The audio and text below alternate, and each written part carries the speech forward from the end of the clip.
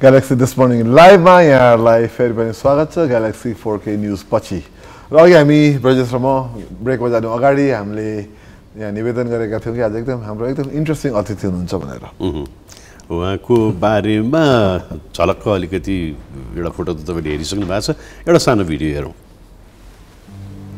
Doctor Sushil Koirala दन्त चिकित्सक हुनुहुन्छ। विक्रम सम्बत दुई हजार बाइस सालमा पोखरामा जन्मिएका डाक्टर कोइरालाले विगत उन्तिस वर्षदेखि दन्त चिकित्सकका रूपमा काम गरिरहनु भएको छ। नेपालको पहिलो दन्त अस्पताल राष्ट्रिय दन्त अस्पतालका सह संस्थापक तथा अध्यक्ष डाक्टर कोइराला वेदिक स्माइल एकाडेमीका अध्यक्ष पनि हुनुहुन्छ।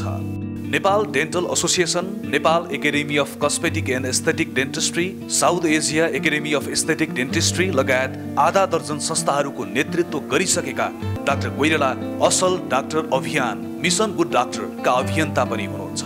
कस्मेटिक डेन्टिस्ट्री पुस्तकका लेखक डाक्टर कोइरालाले पुण्यार्जन फाउन्डेसन स्थापना गरी सोही मार्फत सामाजिक सेवा पनि गरिरहनु भएको छ। चिकित्सा क्षेत्रमा असलपनको वकालत गरिरहेका तिनै डाक्टर सुशील कोइराला आजको हाम्रो अतिथि हुनुहुन्छ। र हाम्रा अतिथि हामी सामु आइसक्नु भएको छ। उहाँलाई स्वागत गर्दै डाक्टर साहब कार्यक्रममा स्वागत छ। नमस्ते। बिहान बिहान समय दिनुभयो त्यसको धन्यवाद। यो सबभन्दा इन्ट्रेस्टिङ लागेको कुरा चाहिँ यो असल डाक्टर अभियान भन्ने हो होइन? हजुर। यो असल डाक्टर अभियान सुरु गर्नु पर्नुको कारण के हो भने डक्टरहरू खराब भएर हो। होइन यो कस्तो छ भने ग्लोबल्ली अथवा संसारभरिकै चाहिँ मेडिकल फिल्डको अथवा चिकित्सकीय क्षेत्रको चाहिँ इतिहास हेर्ने हो भने त्यो कस्तो छ भने मेडिकल डक्टरलाई हाम्रो समाज अथवा चाहिँ ग्लोबल्ली नै एउटा भगवान् पछिको दर्जा भनेर पब्लिकले भनिदिन्छ। अब त्यो कहिलेकाहीँ भनिदिएको चिज हाम्रो लागि बर्डन पनि हुन्छ। तर जानेर अथवा नजानेर त्यो रिचमा हेऱ्यो भने बिरामी भएको बेलामा हामीले धेरैलाई सोध्छौँ डाक्टरलाई पाउनु डाक्टरको अनुहार एकखेर हेर्न पाउनु चाहिँ भगवान्लाई हेरे जस्तो फिल जोसुकै मान्छेलाई पनि इमोसनल्ली हुन्छ। तर त्यस्तो रिलेसन भएको चिज त्यस्तो फिल्डमा काम गर्ने मान्छे अथवा पेसामा लागेका मान्छेहरूमा बिस्तारै गएर यो विगत बिस तिस वर्षदेखि स्पेसल्ली साउथ एसियामा अलिकति पतन आएको हो कि भन्ने कुरा सबैले हामीले मात्रै होइन यो यसको लागि हामीले एउटा सानो स्टडी पनि गरेका थियौँ। विगत बाइस तेइस वर्षसम्म मिडियामा चाहिँ हेडिङको रूपमा र न्युजको रूपमा छापिएका न्युजहरू हेर्दा चिकित्सकहरूको बारेमा भन्ने भनाइ नै अब चेन्ज भएर गयो। आजभन्दा बिस पच्चिस वर्ष अगाडि चिकित्सकहरूले गरेको चिजमा चाहिँ मानवीय संवेदनशीलता छ।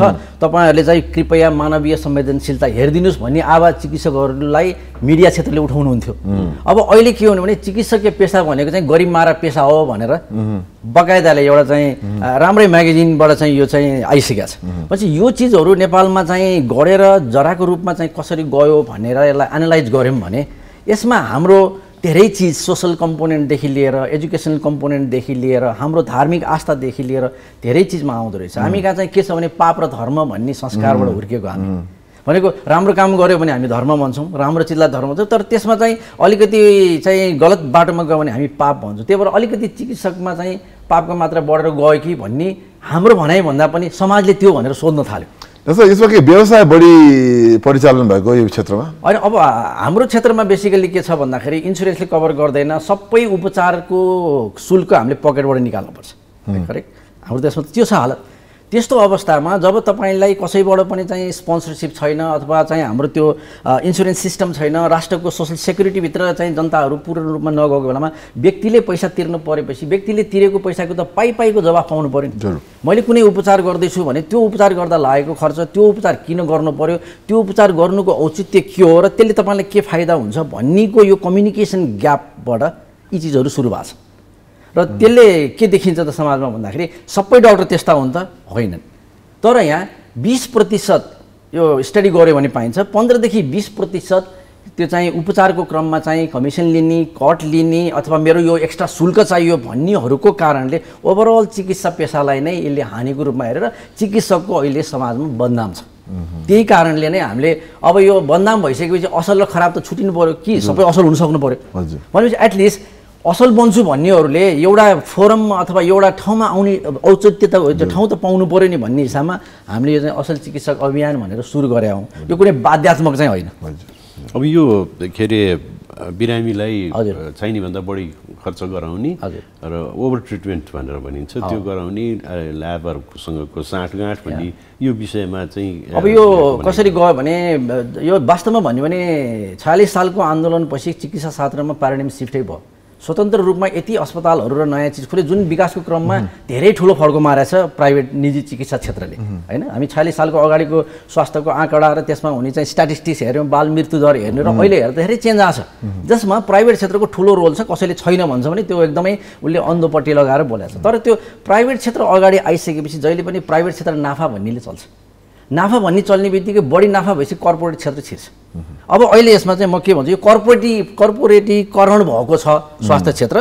कर्पोरेट भन्ने बित्तिकै उसले सिद्धान्त पनि हेर्दैन मिसन पनि हेर्दैन के पनि हेर्दैन। हाउ यु अर्न मनी कसरी सुन्न थपिन्छ आफ्नो व्यवसायमा? कसरी इम्पायर ठुलो हुन्छ भन्ने सोच्ने भावनाले हामी चिकित्सक त कर्पोरेटको एउटा कम्पोनेन्ट हो क्या? त्यो कम्पोनेन्ट उनीहरूकै सिद्धान्तमा मोडिएरै गएर हामी पनि के व्यापारी जस्तै हुनुपर्छ त? व्यापारी नै हुने भए त मैले अरू पेसा गराए हुन्थ्यो नि। चिकित्सा पेसा जब मैले छानिसकेपछि यसका मर्म धर्महरू छन्। जस्तै एउटा कुनै मान्छे आर्मी भयो भने आर्मी भएपछि लडाइँ पऱ्यो भने ऊ चाहिँ बोर्डरमा गएर गर्नुपर्छ ज्यान दिनुपर्छ। त्यस्तै डक्टर भइसकेपछि उसले आफ्नो गर्नुपर्छ। जुन कोभिडको बेलामा धेरै चिकित्सकले देखायौँ नि हामीले फेरि। होइन? मास्क नभए पनि पिपी नभए पनि काम गर्यो। त्यस्ता धेरै राम्रा चिकित्सकको बिचमा नराम्रा चिकित्सकले गर्दा अब कोभिड सिधै नर्मल स्टेजमा आएपछि फेरि बदनाम हुन थाल्यौँ।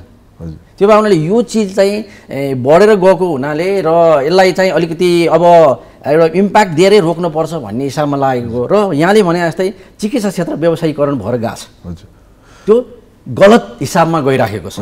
र त्यसको लागि चाहिँ मिडियाले आवाज सुरुदेखि उठाएको छ समाजले उठाएको छ अब चिकित्सकले नै आवाज उठाउनुपर्छ भनेर हामीले यो अभियान चाहिँ सुरु गरेका छौँ त्यसो यो जस्तो तपाईँले भने सबै जस्ता हुँदैनन् सबै राम्रो चिकित्सक पनि हुनुहुन्छ हामी चिनिरहेको छौँ। मैले सोध्न खोजेको नि जो चाहिँ यसमा अहिले अल्मलिनु भएको छ खास कारण के? संस् गलत संस्कारबाट हो कि उहाँको अब फेरि व्यवसायको कुरा आयो तर किन त? व्यवसाय त जताततै छ होइन, उहाँ त्यही यहाँ- ढल्किनु पर्ने कारण? होइन कस्तो छ यसमा। यसमा चाहिँ मैले पहिला म केबाट डिफाइन गर्न चाहन्छु भने असल डाक्टरले केलाई मान्ने यसमा पनि एकदम वि- विरोधाभास रहेछ क्या। एकदम मिठो बोलिदियो चटक्क बोलिदियो कस्तो मिठो बोलिदियो भने पब्लिक र बिरामी गाउँबाटदेखि आएको बिरामीले कस्तो असल डाक्टर भन्ने बानी रहेछ। तर त्यो असल डाक्टरले भित्र चाहिँ राक्षसी काम गरेको त्यो बिरामीले थाहै हुँदैन। त्यही भएर अहिले हामीले चाहिँ यो ग्रुपले के गऱ्यौँ र यसलाई चाहिँ यो विगत बाह्र तेह्र वर्षमा मैले एडभोकेसी गरेर इन्टरनेसनली लगेर यसलाई चाहिँ अलिकति परिभाषित रूपमा जाँदाखेरि चाहिँ एकदम छोटो परिभाषामा हामीले चारवटा बुझाएर ल्यायौँ। असल डाक्टरलाई केलाई मान्ने त यहाँहरूलाई नै मैले प्रश्न सोधेँ भने पनि त्यो चिजको जवाब फरक होला। तर मैले पहिलो कम्पोनेन्ट एउटा डाक्टर भएर हुनुपर्ने सिपालु हुनु पऱ्यो नि। Must be competent. म सबै चिजमा मिठो बोल्छु तर अपरेसन गर्दा हात थारा काम चाहिँ मैले गर्न छैन। I'm the worst doctor correct? अनि त्यो त पापी डक्टरकै क्याटेगोरीमा नसक्ने मान्छे पनि गर्न बसिएको छ। सिपालु यसलाई हामी कम्पिटेन्ट भन्छौँ। त्यसपछि सिपालु मात्रै भएछ वर्ल्ड फेमस भइसक्यो तर दयालै छैन भने सिद्धियो। कम्पासनेट हुनु पऱ्यो सिपालु दयालु यो दुईवटा क्याटेगोरी चाहिनेमा सिपालु छौँ हामी। धेरै डाक्टरहरू सिपालुमै हुनुहुन्छ तर दयापन घटेको हो कि भन्ने शङ्का हो। त्यो दयापनमा ग्रे जोन छ क्या। मैले कमिसन लिइराखेको छु अर्कोले लिएको छैन लिए पनि कानुन छैन नलिए पनि छैन म किन नलिने त? पैसा देखेपछि किन नलिने त भन्नेमा आयो। त्यो दयापन र कम्पासनेट भन्ने म यसलाई हरि भन्छु क्या। मनमा हरि हराउँदै गयो। अब अर्को कुरा भनेको चाहिँ डक्टरको चाहिँ पर्सनबाट पनि हेर्नु पऱ्यो किन कमिसन अथवा चाहिँ किन यो व्यापारीकरण भयोमा मैले यहाँको उदाहरण यो चाहिँ प्रश्नलाई उत्तर दिन खोजेको। यो दुईवटा चिज छ। अलिकति कम्पेसनेट पनि थियो ऊ चाहिँ कम्पिटेन्ट पनि थियो तर स्वस्थ र खुसी छैन क्या। डक्टर खुसी छैन। डक्टरको खुसी कहाँबाट आउँछ? डक्टरको परिवारको बारेमा त्यो संस्थाले सोधिदिनु पऱ्यो डक्टरलाई पुग्ने सालेरी दिनु पऱ्यो डक्टरको सोसल सेक्युरिटीको कुरा गर्ने भयो। डाक्टरलाई पिटपाट बढी हुन्थ्यो नि त। केही भयो भने पिटिहाल्ने होइन चाहिँ यो भिड आएर गर्ने यी खालको चिजहरूमा चाहिँ डक्टर चिन्तित थियो। त्यही भएर डक्टरको पार्ट सोसाइटीले हेरिदिनु पऱ्यो हामीलाई स्वस्थ र सुखी बनाइदिने जिम्मेवारी हाम्रो परिवारको समाजको मिडियाको गभर्मेन्टको हो। त्यसमा एउटा काम चाहिँ भयो। नेपाल मेडिकल एसोसिएसनले लागेर चिकित्सकहरू सिनियरहरूदेखि धेरै चिकित्सक लागेर एउटा बिल चाहिँ पास भयो। चिकित्सकलाई केही गरी चाहिँ कार्यस्थलमा पिटपाट गऱ्यो भने नो बेल जस्तोको आयो। हो हामी यही कुरेर बसेका थियौँ। असल डाक्टर अभियानले यो एउटा आइटम आउनुपर्छ अनि बल्ल हामी एग्रेसिभ रूपमा चाहिँ असल डक्टरको कुरा गर्न सक्छौँ भन्दाखेरि उसको सेक्युरिटी पोर्सन हेऱ्यो। अब यहाँ खुसी चाहिँ छैनन् किन भन्दा हामी कहाँ पेमेन्टको सिस्टम असाध्यै लो छ। डक्टरमाथि शोषण भएको छ। कर्पोरेट कम्पनीहरूद्वारा अथवा सिनियर डक्टरले जुनियर डक्टरलाई शोषण गरेको छ। खानै नपुग्ने पाँच साढे पाँच सात वर्ष पढेर आएको डक्टरलाई तिस हजारको पनि तलब छैन। भनेपछि यो तिस हजारको पनि तलब छैन समाजले डाक्टर भनेर हेरिसक्यो भनेपछि उसलाई एउटा फिनेन्सियल को एउटा आश हुन्छ र त्यो आशको बेलामा उसले कम्प्यासन बिर्सिन्छ। त्यही भएर सायद मलाई जहाँसम्म लाग्छ हामी अलिकति चाहिँ समाजको कारणले पनि हरि हराउँदै गएको हो कि भन्ने चाहिँ फिल भएको छ।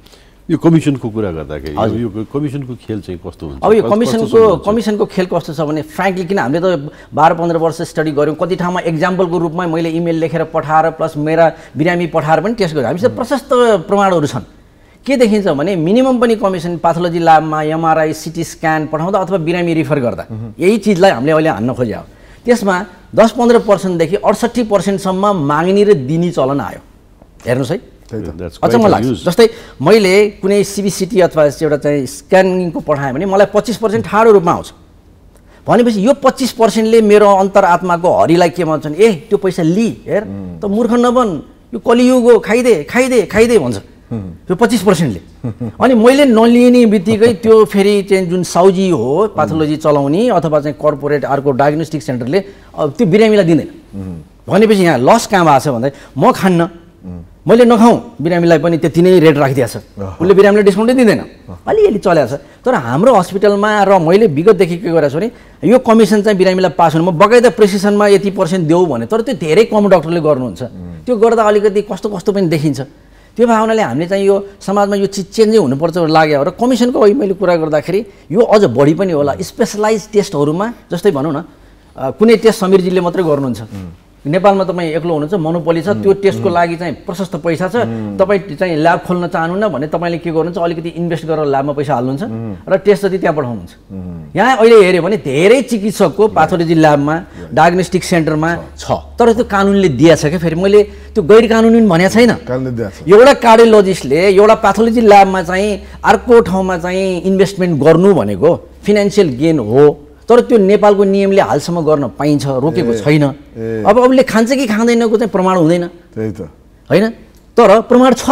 यदि हामीले चाहौँ भने हामी समात्न सक्छौँ। कसरी भन्दा धेरै डायग्नोस्टिक सेन्टरको हामीले चाहिँ इन्टरनल्ली चाहिँ एउटा मिडिया ग्रुप लागेर चाहिँ हेर्दाखेरि के भेट्टाइयो त भन्दाखेरि उहाँहरूको ब्यालेन्स सिटमा बकाइदाले डाक्टरहरूलाई दिएको टिडिएस काटेर करोडौँको कमिसन दिएको पनि डाटामा छ। भनेपछि यसले के देखायो त डाक्टरको नजर त्यो पाथोलोजी चलाउने सेन्टर चलाउनेको अगाडि के रहन्छ? त्यही त। होइन? यो एउटा गिरोहको रूपमा गएको छ। पैसा इन्भल्भ भएपछि तपाईँले हटाउन गाह्रो हुँदो रहेछ। अहिलेको हालको स्थिति चाहिँ काठमाडौँ जिल्ला मात्रै होइन नेपालभरि नै यही हिसाबमा छ। त्यही त यो इन्ट्रेस्टिङ लाग्यो कि मलाई. रजिस मैले यो हामीले नै पहिले नै कुरा गरेका थियौँ। यो चाहिँ नि डायग्नोसिस मात्र होइन जस्तो एमआर औषधि पनि त दिनै नपर्ने औषधि पनि हामीहरू। जस्तै एमआरले औषधि लेखे बापत दिने चाहिँ प्रजातन्त्र आउनुभन्दा अगाडि पनि थियो। किनभने त्यो बेलामा प्राइभेट डायग्नोस्टिक सेन्टर नर्सिङ होमहरू खुल्थेन नि अनि त्यो बेलाको फिजिसियन अलिकति नन असल फिजिसियनले खाने बाटो भनेको एमआरले नै गाडी किनिदिने। अहिले पनि छ। त्यसमा पनि के छ भने जनरल औषधिमा चाहिँ कम छ तर स्पेसिफिक महँगा औषधि हुन्छ एक क्याप्सुलकै पचास हजार पर्ला लाइफ बचाउने औषधिहरूमा चाहिँ प्रशस्त छ त्यसमा अब चाहिँ डाक्टरले भन्दा पनि नर्सिङ होम अस्पताल र यिनीहरू नै इन्भल्भ भइसकेको छ अब डाक्टर गाउँबाट गयो किन अहिले मैले भने नि कर्पोरेट छिरिसक्यो। डाक्टरले खाने कमिसन एक्ट यसलाई सात पर्सेन्ट दिए हुन्छ बाँकी यता ल्याऊ भनेर साउजीले बिचमा नेगोसिएसन गरेर। अस्पताल सञ्चालकहरूबाटै यो चिजहरू म्यानेजमेन्टले लिन्छ। अब यसलाई हामी कर्पोरेट कल्चर भन्छौँ। तर त्यो मेडिकलभित्र कर्पोरेट कल्चर ठिक हो कि होइन चाहिँ बहसको विषय कर्पोरेटले हस्तक्षेप गर्छ। गरेपछि त उसले नाफा बाहेक हेर्नु उसलाई त खालि प्रडक्सन हाई त्यो प्लस चाहिँ बढी ल्याउने नै हुन्छ। उसको उद्देश्य त्यही हुन्छ। भन्दाखेरि तपाईँको कुरा सुन्दाखेरि त एकदम स्थिति त भयावह अब आफै यही पेसाको मान्छे भएर तपाईँले यो गर्दाखेरि आफ्नो पेसाबाट तपाईँले कतिको विरोधहरू होइन विरोध त? मैले पचास सालमा म पढेर चाहिँ प्र्याक्टिस गर्दाखेरि पहिलोचोटि मैले कान्तिपुरमा आर्टिकल लेखाएको थिएँ नेपाली डाक्टरले ट्याक्स तिर्दैन लेख्दाखेरि मलाई मार्न मात्रै मागिरहेको थिएँ त्यो बेलामा तिर तिर्ने चलनै थिएन ट्याक्स तिर्न जाँदा पनि त्यो ट्याक्सवाला मान्छेले के भन्थ्यो भने ए डाक्टर साहब के तिर्न आइराख्दाखेरि अलिकति गरे भइहाल्छ ट्याक्स कहिले सिकाउँथे किन भन्दा त्यो डक्टर उसलाई काम लाग्थ्यो अनि त्यो बेलामा हामीले क्लिनिक खोल्दाखेरि पहिलोचोटि प्राइभेट लिमिटेड बनाउँदा मलाई मूर्ख भनेको थिएँ प्राइभेट लिमिटेड गरेर दर्ता गर्नुपर्छ क्लिनिक पनि भन्ने थियो। भनेपछि त्यो एउटा के हो त भन्दाखेरि इथिक्समा काम गर्छु भन्ने म जस्तो डक्टर म मात्रै होइन कि म जस्तो हजारौँ डक्टर नेपाल काठमाडौँमा यहाँ हुनुहुन्छ। तर के भने साथीले केही भन्ला कि किन यिनीहरूको टाउको दुखाउने किन गर्ने भन्दा भन्दै बिग्रियौँ र हामीले के बुझ्नु पऱ्यो भने म अहिले चाहिँ दाँतको रूपमा हेर्दा म चिकित्सक हो मुटुको डाक्टरमा जाँदा म पनि त पेसेन्ट हो नि। मेरो फ्यामिली पनि त पेसेन्ट हो नि। त्यही पेसेन्टमै मै ठगिएको मैले नेपालमा मेरै फ्यामिलीमा पाइसकेको छु। हामी ठगिया छौँ। इन्डिया जाँदा हामी ठगिया छौँ। भने यो चिज त चिकित्सकको फ्यामिलीलाई त्यति गाह्रो हुन्छ भने अरूमा पनि यो भावना यसलाई कल्चरल्ली मात्रै भएन यसलाई चाहिँ हरि र पाप र पुण्यमा मात्रै राखेन भएन। यसलाई कानुनले ठोक्नु पर्यो भन्ने चाहिँ अभियानको वास्तविक उद्देश्य चाहिँ त्यो ताकि सबैलाई जस्तै म उदाहरण यहाँलाई दिन्छु पहिला चिकित्सकहरूले चाहिँ अल्ट्रासाउन्ड गरेर मेल र फिमेल छुट्याउने चलन थियो क्या नेपालमा। प्रशस्त भ्रूण हत्या हुन्थ्यो होइन? त्यो प्रिम्याचर यो गर्थ्यो। अहिले चाहिँ कानुन बनेर के आयो त भन्दाखेरि महिलावादीहरू चाहिँ चाहिँ अगाडि आइदिनु भयो एडभोकेसी भयो मिडियाले बोलिदियो। कानुनै बनेर अब त्यो पत्ता लाएर भन्यो भने लाइसेन्स खत्तम हुनेदेखि लिएर चिकित्सकलाई ठुलो कारवाही हुने भएपछि एट्टी नाइन्टी पर्सेन्ट घट्या छ। पुरै गयो भन्दिनँ म। त्यस्तै यसमा पनि कानुनको जरुरत छ। कमिसन खुवाउने र खानेलाई यस्तो खालको दण्डै हुन्छ। कमिसन खानेलाई लाइसेन्सै जान्छ कमिसन खुवाउनेको संस्थै बन्द हुन्छ भन्नेको एडभोकेसी तपाईँ हामी सबै पब्लिकले गर्नु जरुरी छ। त्यो भयो भने हामी जोग्यौँ हामीले हाम्रो चिकित्सा पेसाको मर्म र धर्मलाई जोगायौँ। सबैलाई चाहिन्छ चिकित्सा पेसा भन्ने। हाम्रो त्यही भएर हाम्रो मिसन भनेको चाहिँ कुनै डक्टरलाई भन्ने संस्थालाई भन्ने होइन। हाम्रो भनेको ओभरअल यसमा चाहिँ जाने र यो मिसनमा लाइक माइन्डेड को को हुन्छ यसमा चिकित्सक मात्रै हुनु परेन। यसमा मिडिया हुनसक्यो मेरो परिवार हुनसक्ला अर्को परिवार हुन्छ सबै मान्छेलाई चिकित्सा चाहिने भएर त्यो वेमा चाहिँ प्लान चाहिँ हाम्रो त्यो छ। तर इट इज भेरी डिफिकल्ट र हजुरले भने जस्तै यो एकदमै विरोध आउने प्लस अगाडि जाने कि नजाने। यदि मैले सके म पनि गोविन्द केसी जस्तै वास्तवमा भन्ने हो नि म अनसन बस्थेँ होला। तर मेरो परिवार छ। म त खुस्किन्छु मलाई कोही पनि डाक्टरले आएर बचाउनेवाला छैन। म अनसन बस्यो भने मलाई मारिदिन्छ। त्यही भएर नबस्या हो। सिधा कुरा। त्यही भएर हाम्रो अभियान अलिकति फरक छ। हामी कलम चलाएर हामी बोलेर कसैलाई पनि चाहिँ हानि नगरिकनै यो मिसनलाई अगाडि चाहिँ पछिसम्म त्यही भएर मैले भन्छु यो एउटा चाहिँ सुरुवात मात्रै हो। यो कहिले गएर बन्द हुन्छ आई डोन्ट नो एकदमै इन्ट्रेस्टिङ गम्भीर सेन्सिटिभ कुराहरू भइरहेका छन्। तर बेला भएको छ एउटा सानो ब्रेक लिने ब्रेकपछि हामी यसलाई निरन्तरता दिनेछौँ।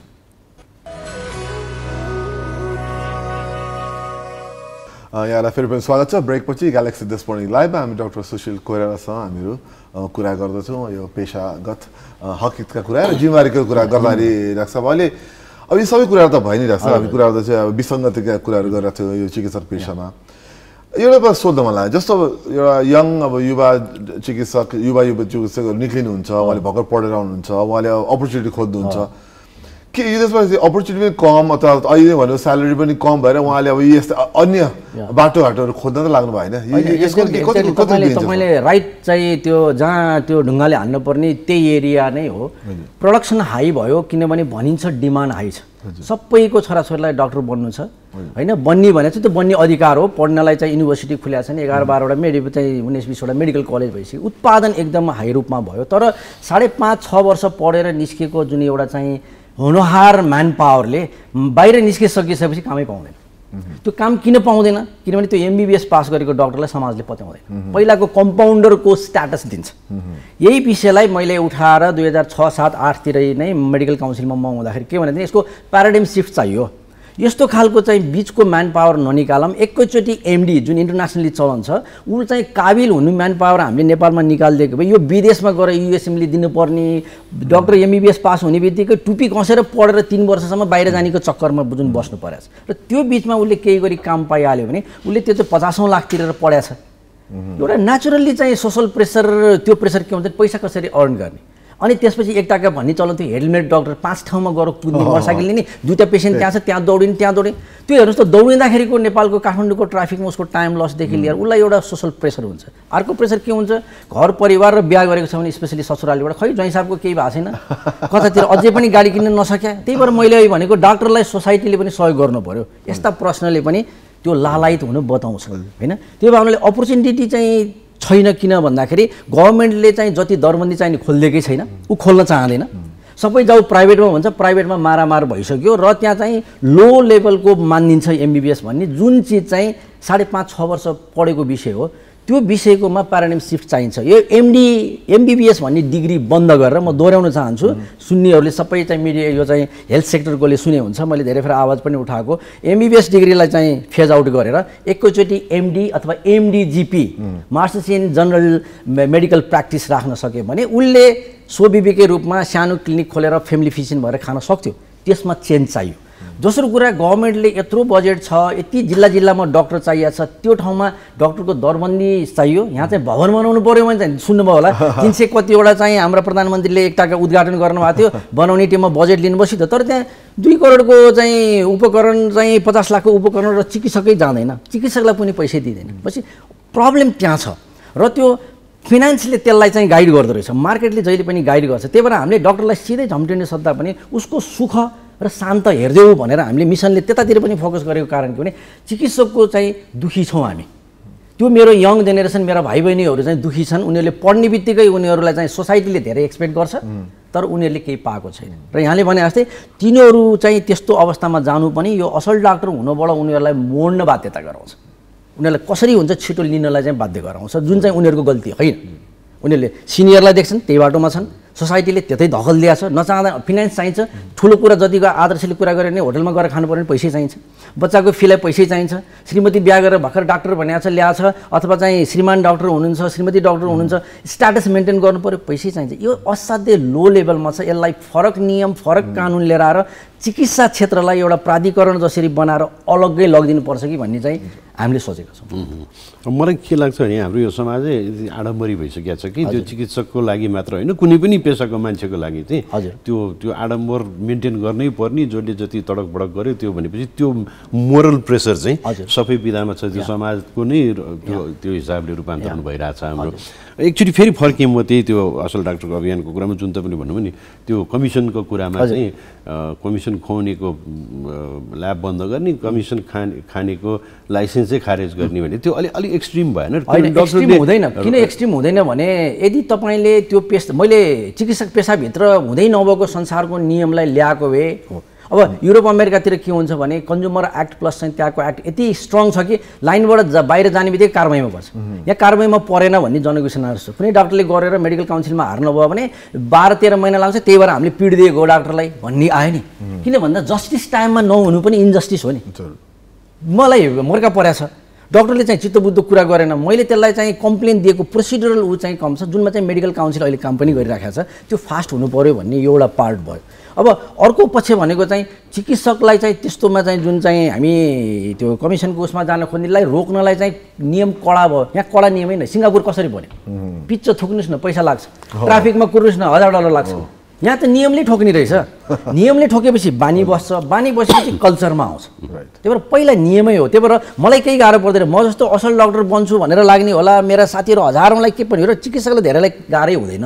कुन बेला गाह्रो जब खानै पाइँदैन भनेपछि त्यो खानेतिर जाँदै जाँदैन। पाइया छ मैले तपाईँ खाइराख्नु भएको छ अथवा म खाइरहेको छु तपाईँ चाहिँ म लिन्न लिन्न भनेपछि एउटा लेभलमा तपाईँलाई म आफू मूर्ख लाग्न थाल्छ। सरी परिवारले भन्छ के गरे यो अरूले गरिराखेका छन् त्यत्र त्यत्र नाम चल्या डाक्टरहरू लिँदा रहेछन्। फेरि अचम्म लाग्छ है त्यहाँ मलाई एउटा भ्रम नपरोस्। जुनियरले मात्रै खान्छ होइन टप सिनियरहरू बढी खान्छ किनभने टप सिनियरहरूसित बढी पेसेन्ट छ। जसले बढी एमआरआई दिन सक्यो एमआरआई धेरै पठाउन सक्ने सिटी स्क्यान धेरै पठाउन सक्ने डक्टर भनेको नाम चलेको पपुलर सिपालुमा पर्यो। तर दया उहाँले अलिकति बिर्सिसक्नु भयो। दयामा उहाँलाई के भने खान पुगे पनि कमिसन खान्छ। फेरि एउटा कुरा एकदम बुझ्नु पऱ्यो र फेरि अर्को कुरा के भने संस्कार भन्नेले मात्रै नि पुग्दैन रहेछ। यो यो हामी अचम्म भन्छन्। एउटै फ्यामिलीमा गरेका दुईजना दाजुभाइ डक्टरमा भाइ खान्छ दाइ खाँदैन। के भन्ने एउटै संस्कार हुर्क्यो होइन? त्यही भएर मैले यसलाई के भन्न थालेछु भने यो कर्मजीन हो। यो कुनै संस्कारबाट आउने जेनेटिक भन्दा पनि कर्म हो भने चाहिँ अलिकति हामी डक्टरहरू स्पिरिचुअल वेकोमा जुन पेसाले नै बनाइदिएको छ क्या बन्दिनँ भने नि बन्नुपर्छ। त्यो वेको चाहिँ पढाइ कम भयो भनेर हामीले चाहिँ पहिला यहाँलाई एउटा सानो कुरा निवेदन गरौँ। मैले कलम चलाएर लडाइँ कसरी जितिन्छ भन्नेमा चिकित्सकहरूलाई पढ्नै पर्थेन नेपालमा पास भएपछि लाइसेन्स लियो सिद्धियो थियो। हामीले सात आठ वर्षदेखि चाहिँ चिकित्सा पेसाभित्र continuing medical education continuing profession चाहिन्छ भनेर लबी गर्ने पहिलो व्यक्तिको ग्रुपमध्ये म पनि हो। त्यो बेला पनि डाक्टरले त्यसरी निकाले गर्नुहुन्थ्यो। कलेज कलेज गए यो पढ्ने नपाउने बुढेसकालमा पढ्नुपर्ने नियम ल्याउनु लाग्यो सुशीलहरूले भने आखिरमा नेपाल मेडिकल काउन्सिलले त्यो गर्न बाध्य पनि भयो। काउन्सिलले नै त्यो राखेर अहिले डक्टरहरूलाई सिपिडी पर्न बाध्य जुन पाइलटलाई पर्छ हजुरको चाहिँ यो लयरहरूलाई अहिले चाहिँ बिस्तारै आइसक्यो। त्यसपछि चाहिँ चार्टर एकाउन्टेन्टहरूले पढ्नुपर्छ। पेसामा पढ्ने भनेको आ जस्तै। त्यसमा त्यो सिपालु बनाउनलाई गरियो। अब दयालु बनाउनलाई पनि नियम चाहियो। भावनाले दयालु बनेन नेपालको संस्कारले दयालु बनेन। भनेपछि अब नियमले दयालु भनौँ नियमले दयालु भनेको तैँले चाहिँ कमिसन खाइस् अथवा चाहिँ नचाहिने चिज गरेस् भने तिम्रो लाइसेन्स जान्छ। तर यसलाई आर्थिक पाटोमा मात्रै जोड्ने। त्यस्तै के चाहियो त भन्दा यो सङ्घ संस्थालाई पनि के आउनु पऱ्यो कम तलबमा तिमीले चिकित्सकलाई अथवा चाहिँ स्वास्थ्य कर्मीलाई चाहिँ शोषण गर्यो भने तिम्रो संस्था बन्द हुन्छ भने पनि नियममा हामी दौडिन्छौँ। मलाई तिस हजार दिनुपर्छ भनेर देखाएको छ। पन्ध्र हजारमा सही गराउने पनि छन्। यो त सबै पेसामा छ नि। मिडियामा पनि छ सबैतिर छ। यस्तोमा पनि सरकारले प्रोटेक्ट त्यही भएर म चाहिँ नियम कडा चाहिन्छ भन्ने पक्षमा किनभने कडा नियमले कल्चर डेभलप गर्छ। यसमा राज्यको रोल के हुन्छ राज्य अलिकति छु कि होइन, निजीलाई त अब देखिरहेको छ। राज्य। पनि सबै विसङ्गत राज्यमा पनि छ नि। राज्यले राज्यको यहाँ के आयो भने सबै पेसामा छ नि डाक्टर सुशील तपाईँ मेडिकलमा मात्रै किन कराउनुहुन्छ भने त्यही सबै पेसामा भएको कारणले हामी कराउनु पर्यो। Right. अरू पेसालाई हामीले सुधार्न सक्दैनौँ। मैले हजुरलाई सुधार्न सक्दिनँ उहाँलाई सुधार्न सक्दिनँ तर म सुध्रिन सक्छु। मलाई सुध्रिन त कसैले रोक्दैन नि। म खान्न भन्न त सक्छु नि। एउटा त्यो पक्ष भयो। अब खान्न भन्नेको सङ्ख्या बढ्दै गयो भने खानेहरूलाई कारवाही गर्नलाई नियम ल्याउन सकिन्छ। राज्यले पैसै दिन नपर्ने भनेको नियम बनाइदिने हो नि त पहिला। किनभने उसले टन्न तलब दिएर घटाउँला भन्ने चाहिँ नसोचे हुँदो रहेछ। मैले अहिले उदाहरण गरिदिएँ। धनी हुँदैमा कमिसन खाँदैन भन्ने भ्रममा नपरे हुन्छ। जसले बढी पैसा कमाइराखेको छ चिकित्सा क्षेत्रमा भित्र तपाईँले चाहिँ इन्भेस्टिगेसन गर्नुभयो भने त्यसको कतै न कतै चाहिँ त्यो खाने प्रोसेसको इन्कम कम्पोनेन्ट छ। नत्र भने एउटा चिकित्सकले तुरुन्तै अर्बपति यो चिकित्सा पेसाबाट बन्न सकिँदैन। जीविकोपार्जन राम्रो टाइसुट लाएर छोराछोरीलाई राम्रो ठाउँमा पढाएर एउटा सानो गाडी राखेर घर बनाउनुसम्म हो जिन्दगी चिकित्सकको नेपाली परिप्रेक्ष्यमा। त्योभन्दा बढी छ भने कि त्यसले छुट्टै नै अर्को व्यवसाय गरेको हुनु पऱ्यो कि त्यसले भित्र घोटाला गरेको हुनु पऱ्यो यो प्रष्ट रूपमा भनिदिन चाहन्छु म। किनभने यो हामीले जुन तलकबाट देख्छौँ नि ओहो टप डक्टर यो हेर्दै जानुहोस् भित्र इन्भेस्टिगेसन होस् त्यो चिजहरूको देयर इज अ क्लु अथवा देयर इज अ फ्ल त्यो फ्ल के छ त भन्दा यही कट सिस्टम र अर्को म यहाँ एउटा निवेदन गर्न के चाहन्छु मैले चाहिँ यो मिडिया उसबाट भन्नै पर्ने। यो कट लिने कमिसन लिनेलाई अधिकार भन्न थाल्नुभयो क्या हाम्रो यङ जेनेरेसनले किनभने एजुकेसन कम भयो। यो इन्टरेक्सन यस्ता यो खानुहुन्न भन्नेको बारेमा बहसै भएन। खालि मेडिकल माफिया भनेको छ गोविन्दजी चाहिँ सुत्नु भएको छ त्यो चिजमा चाहिँ आकर्षण गयो। तर चिकित्सकले खान्छन् भन्नेको बारेमा चाहिँ गएर यो खानुहुन्न है भन्नेमा नबस्या हुनाले यङ चिकित्सकहरूलाई धेरैसित मैले डिबेट गर्दा अथवा प्रोग्राम चाहिँ गर्दा कुरा गर्दा यो त हाम्रो अधिकार हो नि। ट्राभल एजेन्सीले लिनुहुन्छ डाक्टर साहब। फलानुले लिनुहुन्छ। हाम्रो पेसामा चाहिँ एउटा बिरामी अर्को ठाउँमा पठाएको मैले आएको मेरो बिरामीको टेस्ट उसलाई पठाएको उसले मलाई किन दिने उसले मलाई केही दिनु परेन भन्नुहुन्छ। हो यो मर्म नबुझ्या। यो कहाँ कम भयो त? पढाइको कल्चरमै कम भयो। उसलाई एमबिबिएस पढाउँदाखेरिका उसका रोल मोडल टिचरहरू नै गलत परे. सोसाइटीले नै गाइड गरेर भनेपछि यो हाम्रो चाहिँ पिरको विषय हाम्रो दुःखको विषय र मलाई लागेको एउटा चाहिँ अलिकति चित्त नबुझेको चाहिँ सुरुदेखि चिकित्सा पेसाको के भने यिनीहरूले यसलाई अधिकार ठान्नु हाम्रो कमजोरी हो as a senior we are failure हामीले हाम्रो जुनियरलाई गलत चिजलाई गलत हो भन्न सिकाउनै सकेनौँ। सिनियरले कमिसन खाँदा no sir this is out of your ethics भन्न सक्ने जुनियर जन्माउनु पर्यो। त्यसको लागि हामीले सोसाइटीबाट सपोर्ट नगरी भन्नु उनीहरूलाई सपोर्ट गरेन भने उनीहरूलाई एउटा कुनामा राखेर कर्पोरेट वर्ल्ड र सिनियर डक्टरले पेलेर पेलेर मारिदिने सिधाइदिन्छन्। भनेको मतलब इमोसनली सिद्ध्याउँछन्। त्यो नहोस् भन्नको लागि पनि हामीले चाहिँ यो आवाज उठाइदियौँ भने यो चाहिँ माफिया भनौँ यिनीहरूलाई अथवा चाहिँ भनौँ त्यो शब्द धेरै प्रयोग भयो। म के भन्छु भने पापी भन्छु क्या। एकदम नेपालीलाई मनपर्ने शब्द। यी पापी हुन्। यो पाप चाहिँ घटाएर हरि मनमा ल्याउन सकिन्छ कि भन्छ निकै गहन एकदम सेन्सिटिभ विषयमा हाम्रो निकै गहन कुराकानी भइरहेको छ। अब हामीसँग समय अलिक कम कम पनि छ। त्यसले गर्दाखेरि यसलाई अब एकचोटि यो पुण्यार्जन फाउन्डेसन भनेर जुन अब यो कस्तो भने यो सानो रूपमा चाहिँ यो चाहिँ कसरी मैले त्यही भएर भन्न खोजेको संस्कारबाट मात्रै होइन। नेपालमा भुइँचालो गयो भुइँचालो गइसकेपछि चाहिँ सबैका केटाकेटीहरू त्यस्तै मर्ममा थिए। मेरो छोरा दुईजना ट्विन्स चाहिँ नौ दस वर्षका थिए। तिनीहरूले त्यो टेलिभिजनमा आएको दस्तरी मरेको सिन बाउ हराएको बाउ उ गरेको बच्चा एक्लै भएको देखेपछि के भन्यो भने बाबा हाम्रो त हजुर होइसिन्छ फ्यामिली छौँ हामी बाँचेका छौँ सबै वी आर फाइन तर यिनीहरू कसरी बाँच्छ भनेपछि उनीहरू अलिकति डिप्रेसनमा गए जस्तो देखियो र एक दिन तिनीहरूले के गरे यो चाहिँ स्कुल बन्दै भइराखेको त्यही पिरियडमा हामी टेन्टमा बस्थ्यौँ यो बेलामा। घरमा जब सरेपछि चाहिँ त्यो टिका दक्षिणा दिएर टिका लाएर यताउता गरेको मामाहरू अमेरिका हुनुहुन्छ यताउता दिएको दुई सय सत्ताइस डलर रहेछ। यो पैसाबाट केही हुन्छ कि बाबा प्लिज गरिसियोस् न भनेपछि हाम्रो आँखा खोल्यो। अनि त्यसपछि हामीले सोसाइटीको र साथीहरूको चाहिँ भित्री क्लोज र फ्यामिली क्लोज ग्रुप बसेर एउटा फाउन्डेसन खोल्यौँ। त्यसलाई हामीले पुण्य आर्जन नाम राख्यौँ। त्यो फाउन्डेसनमा लागेर के पाइन्छ भनेर कसैले सोध्यो भने पुण्य बाहेक के पनि पाइँदैन। त्यही भएर नाम चाहिँ पुण्य आर्जन राख्यौँ। त्यसले स्कुल एक दुईवटा भत्किएको स्कुलहरू बनाउन थाल्यौँ। सबै चिज गरेपछि पछि हामीलाई के फिल भयो भने यो सोसाइटीमा के रहेछ भने तपाईँले कुनै चिज रिकन्स्ट्रक्सन गर्नुभयो कतैलाई स्पोन्सर मात्रै गर्ने मागिराख्दो रहेछ क्या। डिपेन्डेन्ट हुने रहेछ अनि हामीले ठ्याक्क बन्द गरेर अहिले हामी चाहिँ केमा लाग्छ भने यो चाहिँ humanity through science and technology भनेर टेक्नोलोजिकल हेल्प दिने इन्टरप्रिनरसिपलाई बढाउने यङलाई अलिकति उत्थान ल्याउने र त्यो खालको ह्युम्यानिटेरियन काम चाहिँ गरिराखेका छौँ र अहिले बेसिकल्ली यसले चाहिँ यो घाउ सन्चो पार्ने न्यू टेक्नोलोजी हामीले टु थाउजन्ड सिक्सटिनमा नेपालमा भित्रायौँ। क्रोनिक घाउ अल्सर भएर भएको घाउ दबाईको डायबिटिज भएर भएको घाउ यो चाहिँ एम्पुटेसनमा जान्थ्यो। मेडिकलको पुरानो पद्धति अनुसार चाहिँ सन्चो गर्न गाह्रो चिजलाई चाहिँ एकदमै सजिलो तरिकाले दन्त चिकित्साबाट आएको तरिकाले चाहिँ हुनेलाई हामीले चिलीबाट नेपालमा भित्र्याएर गऱ्यौँ र अहिले लगभग चाहिँ बाह्रवटा सेन्टरमा चाहिँ त्यो सेवा जान्छ। त्यसमा हामीले चाहिँ उपकरण दिएका छौँ डाक्टरलाई तालिम दिएर म्यानमारसम्म पुगिसक्यौँ हामी। बङ्गलादेशमा पनि त्यो चाहिँ दिइसकेपछि अलिकति humanitarian but if you transfer the technology you can give a good impact in the lower community रहेछ पैसा मात्रै तल पुगेन। हामीले टेक्नोलोजीलाई नै अलिकति फोकस गरेका छौँ र अब अहिले चाहिँ साइन्स एन्ड टेक्नोलोजीसित रिलेटेड साथीहरूसित मिलेर काम गरिरहेका छौँ।